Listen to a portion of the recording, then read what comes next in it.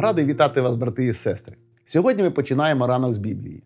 Історія з Давидом та Саулом є важливим нагадуванням про значення доброї совісті та милосердя у нашому житті.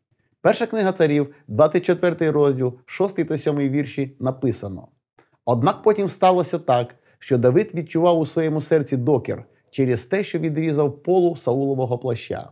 І він сказав своїм людям: Не дай того, Господи, щоб я учинив таке з моїм володарем, помазаником Господнім, піднявши на нього свою руку. Адже він є Господнім помазаником. Саул, рухомий заздрістю, продовжував переслідувати Давида, якому доводилося ховатися. Одного разу, сховавшись у печері Одоламській, Давід побачив, як туди для потреби зайшов Саул.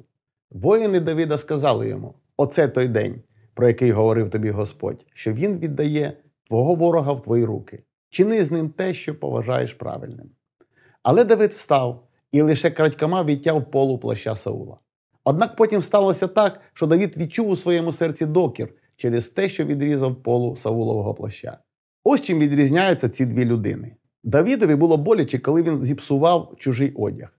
А Саулові не було боляче, коли він навіть умертвив 85 священників Господніх. Ця історія нагадує нам про важливість бути милосердними та шанобливими навіть до тих, хто вважається нашим ворогом.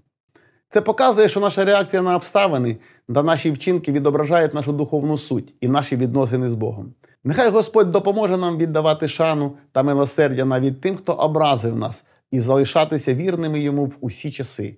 Амінь.